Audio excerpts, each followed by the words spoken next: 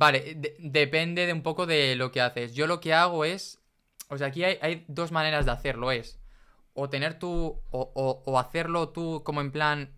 Cuando me llega un proyecto, por ejemplo, una página web o de algo que necesite también diseño, yo ya tengo una persona que tal y soy capaz de ofrecerle el presupuesto. Esto es como pillarte un poco más los dedos. Pero si no es lo que hacía yo al principio para no pillarme es, mira, yo conozco un par de diseñadores, si quieres te los presento, pero te apañas con ellos. O sea, hablas tú con ellos, haces tú la gestión del dinero con ellos, tal. Porque si no, como que al final también asumes la responsabilidad de que el diseñador te dé el diseño en tiempo, que tal, que no sé qué. Yo, salvo que de verdad me interese como tener mucho el control de lo que está pasando, es como te presento, eh, hace poco me llegó un, los de antropología que decía antes, ahora quieren hacer SEO. Entonces yo tengo un amigo de toda la vida que se dedica a hacer SEO y cuando yo necesito algo se lo pido a él. Entonces le dije, mira, te presento a este chico. Eh, ¿Lo puedes facturar tú? No, no. Os lo presento, os apañáis con él, lo que haya que hacer con él lo apañáis y ya está. Por si no llego. Y si no llega a tiempo, y si no tal, y si no tal. Sobre todo cuando es algo a largo plazo. Cuando es a lo mejor un proyecto más pequeñito, pues sí te puedo decir, te monto yo una cosa. Pero normalmente a mí esto me da más dolores de cabeza que otra cosa, ¿no? Porque es, oye, diseñador que llegue y el maquetador y el no sé quién, el no sé cuántos, que esté todo bien. Es que me ha surgido una cosa, me, justo me he ido de viaje, se me la luz y no voy a tener tiempo. Hostia, ya, pero la cara la, estás pon- la estoy poniendo yo, ¿no? Entonces, salvo que te fíes mucho, mucho, mucho de la persona, sí. Yo, por ejemplo, con con cuando trabajo, me fío 100%, sé que va a llegar. Entonces, no pasa absolutamente nada.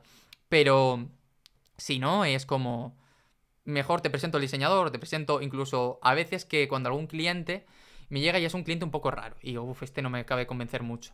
Y a lo mejor digo, no me tal, ni siquiera le, me dicen, a veces me dicen, preséntanos otro copy y te llevas tú una comisión. Digo, no, no, si no me interesa, es que ni eso, prefiero directamente, te paso otro, te apañas con él y yo no quiero saber absolutamente nada del, del proyecto, ¿no? Entonces, la conclusión es que si te confías mucho en esa persona y tal, lo puedes tener, pero yo me apaño muchas veces con te presento un diseñador y ya está. Yo conozco una chica que se llama Yolanda, que tiene un negocio que hace, o- no es la copy Christian, sino que es otra, que tiene un negocio que se llama Oh My Web, que se encarga de hacer páginas web. Entonces, cuando me llega algún cliente que dice, quiero la página, le digo, oye, ¿quieres que, si quieres que te presente una, una diseñadora y una maquetadora, te la presento y te apañas con la persona.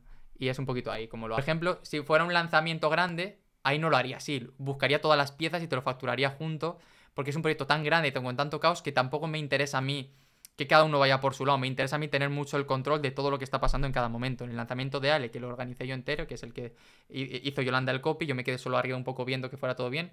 Yo busqué al, al diseñador, yo busqué al maquetador, yo busqué al chico de la publi busqué a la chica que hacía el copy. Y, y lo cobré yo todo y distribuí yo luego el dinero a cada persona para poder hacerlo. En, en este, o sea, en este sí, lo que pasa es que este quería como, si fichaba a Yolanda, que es una chica con la que trabajo mucho para hacer el copy, eh, quería que hiciera ya el copy de todo, no quería yo hacer una parte del copy yo y otra parte tú. De hecho, yo creo que ahí lo que metí mano fue porque íbamos un poco, yo no llegamos fue al, al guion del webinar final.